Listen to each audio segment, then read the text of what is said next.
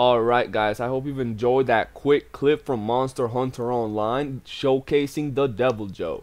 He's almost upon us, so I want to show you guys everything there is to know about this awesome monster.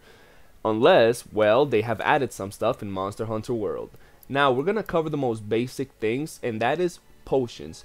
Within these potions, you want to make sure you bring Mega Armor Skin. This is more important than even the Mega Demon Drug because the Deviljho has this effect in his drool which causes defense down.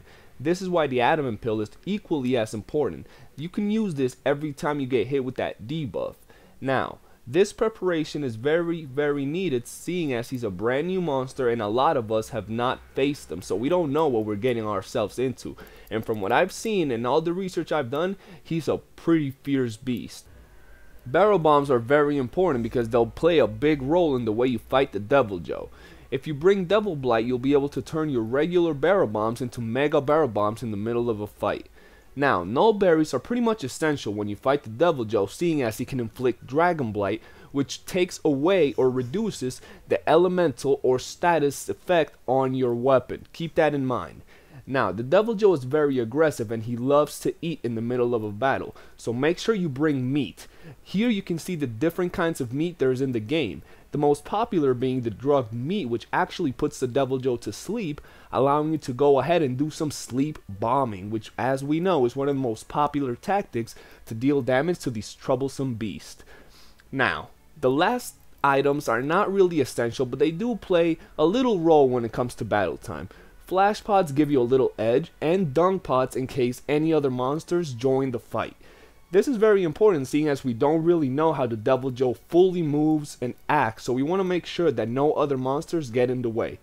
Our traps just help us deal a little more damage and control the situation. But apart from that, these are the main items you want to make sure you have when facing this awesome beast. Now let's get into how he actually moves, how he looks, and how he actually fights. Keep in mind there's no actual footage of the Deviljho in Monster Hunter World, so this is from past games. There could still be changes to his patterns and how he fights, but this is as close as we're gonna get, so let's get right on to it. If you guys want to know where these videos are coming from, I've given credit to the actual creators in the bottom right corner, so go out and check them out. Now, if you see the Deviljho, he's a very fierce opponent. You want to be below his legs or right behind him. He has a lot of attacks that can deal tons of damage, guys. So you want to be careful with the way he fights and how he hits you. Make sure you do not get hit because simply getting bit by him might actually give you defense down debuff. After a certain amount of time, he will actually enrage, which is what you see right here. This is pretty much how he looks when he's enraged. And not only does he hit harder, but he gets a lot more aggressive, guys. Now, when we look into the Deviljho, there's some attacks you really want to keep an eye out for. This is one of them, his Dragon Breath attack. Not only does it hit like a truck, but it, as I told you before, it can inflict Dragon Blight. As you can see, he will spam it when he's enraged, and if it hits, it will take a ton of your life off. Now, as I told you, we're going to need meat, and as you can see here, he's a big eater, and he's often prone to eat the meat you lay around, or if you've cut off his tail, he would eat his own tail.